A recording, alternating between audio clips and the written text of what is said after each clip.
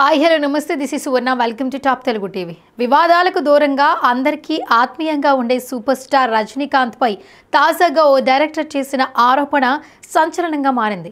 ఈ మధ్య కాలంలో భారీ హిట్టు లేక ఇబ్బంది పడుతున్న హీరో రజనీపై దర్శకుడు చేసిన కామెంట్స్ అభిమానులకు తీవ్ర ఆగ్రహాన్ని తెప్పిస్తుంది.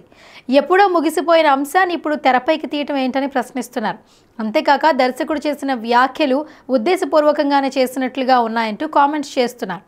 ఇంతకీ ఏం జరిగిందంటే గతంలో రజనీకాంత్ దర్శకుడు కెఎస్ రవికుమార్ కాంబినేషన్ అంటే సక్సెస్కు చిరునామా అని పేరు. అయితే వీరి కాంబినేషన్లో ముత్తు పడియప్ప సెన్సేషనల్ హిట్ చిత్రాలుగా నిలిచాయి. అలాంటిది రెండు వేల పద్నాలుగులో వీరి కాంబినేషన్లో వచ్చిన లింగా చిత్రం నిరాశపరిచింది. ఆ తరువాత వీరి కాంబినేషన్లో ఇప్పటి వరకు చిత్రం రాలేదు. ఇద్దరి మధ్య మంచి అనుబంధం ఉంది. కానీ లింగా చిత్రం డిజాస్టర్ కావడంతో రజనీకాంత్ అభిమానులు దర్శకుడిపై ఆగ్రహం వ్యక్తం చేశారు.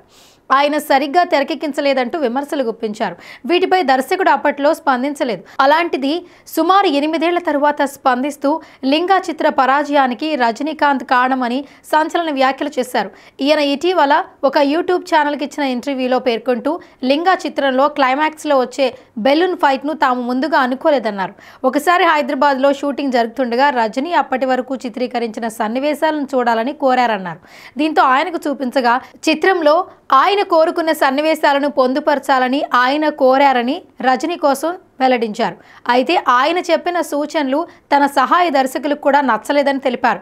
అయినా లింగ చిత్రాన్ని రజనీకాంత్ పుట్టినరోజు సందర్భంగా విడుదల చేయాల్సిన పరిస్థితి నెలకొనడంతో తగిన సమయం లేకపోవడంతో ఆయన చెప్పినట్టుగానే చిత్రాన్ని హడావిడిగా పూర్తి చేసినట్లు వివరించారు.